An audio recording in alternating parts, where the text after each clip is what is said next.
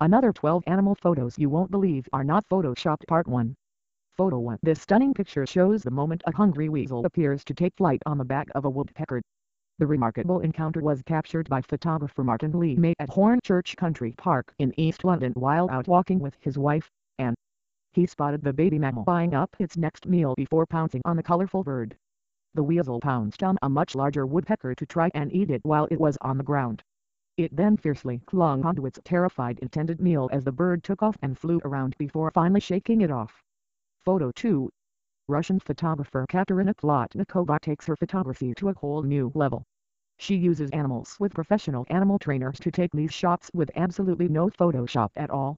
Her pictures are very terrifying to see, but yet very beautiful. Photo 3 The aptly named winner of the 2008 Wildlife Photographer of the Year contest, Deadlock was captured in the dead of night in a Belizean rainforest.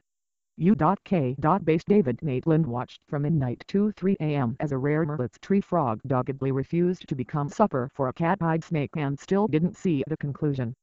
Photo 4 This extraordinary picture shows nine adventurous goats perched in the gnarled, twisted branches of a 17-foot argan tree in North Africa.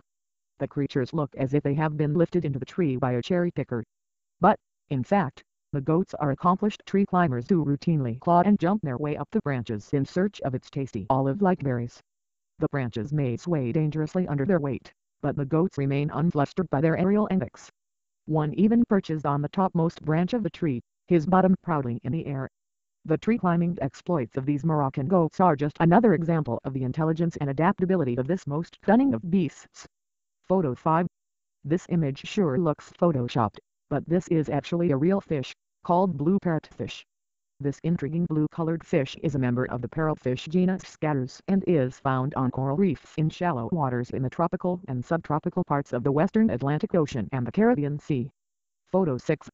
This affectionate scene was not staged. The elephant were recorded holding trunks while walking in Masai Mara, Kenya, as shown in the Doc 1 Life. Watch next part 2.